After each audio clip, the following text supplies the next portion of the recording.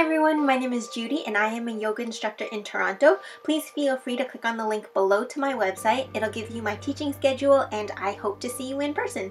Today I'm going to be showing you how to do alternate nostril breathing, also known as Nadi Shodhana. Now if you have a blocked nasal passage, I would recommend that you try another type of breathing exercise or maybe save Nadi Shodhana for another day. If you'd like to know what the benefits of this breathing practice are, I would say go towards the end of the video above the 4 minute mark. Place your middle and index fingers on the space between your eyebrows. When we close alternate nostrils, avoid clamping down aggressively.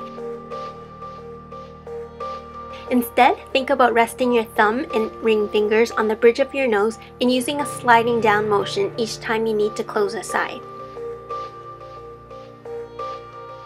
This is traditionally done with the right hand, but my left hand seems to work better, so feel free to try both sides and use whichever one you're more comfortable with.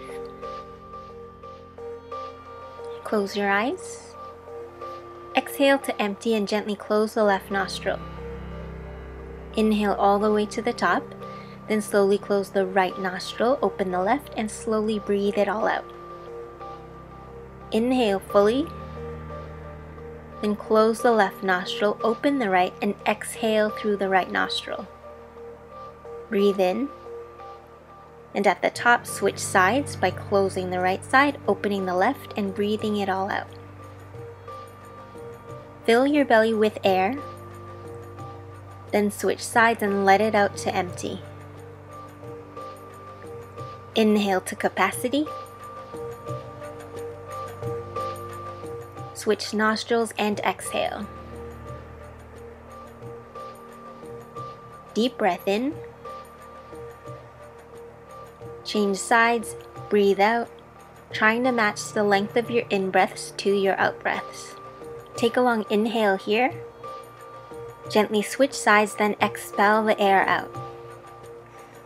Continue following the pace of your own breath and following the same pattern.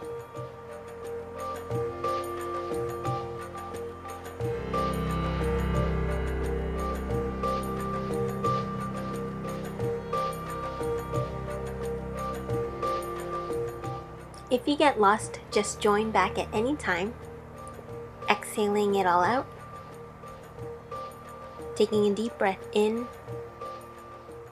switch at the top, and exhale. Breathe in when you're empty, change sides, exhale. Inhale, switch, exhale. Inhale, Change sides, exhale. Breathe in to fill. Change sides at the top and exhale. At empty, breathe in.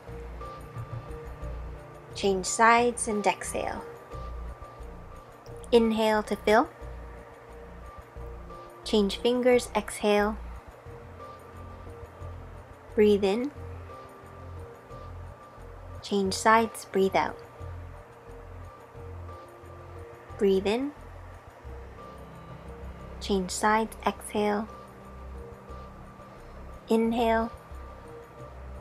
Change sides, exhale. Inhale. Change sides, exhale. Breathe in.